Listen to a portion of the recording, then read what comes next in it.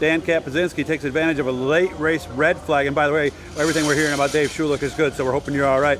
Red flag help you or hurt you? Because it looked like a couple times you were able to get under the guy you were passing. One time you thought about the outside. We just got really free. That's the second weekend this set of tires. Um, so I and I, we had already locked the championship up, so I really didn't feel like pushing the issue too hard. Um, I wasn't going to get Griffin if it wasn't for the last caution. Really? Um, but the red kind of helped me out. It kind of cooled my tires down and gave me a chance to get at him again. And he just didn't get off at two very well. I was dragging the brake a little bit to keep the rear end underneath me and still applying the power, and we just were able to out drag race him into three. So it worked out.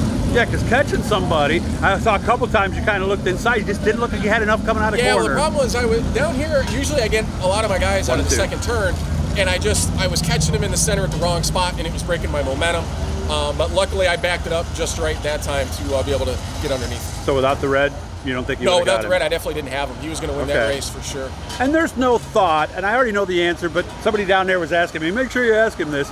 When you got the championship wrapped up, you're still not going to just finish second, right? No, I mean my guys, they've been on me. They wanted to get another Yeah, one, yeah. and uh, so they just told me to keep doing what I've been doing all year. So I figured, what the heck, we'll try.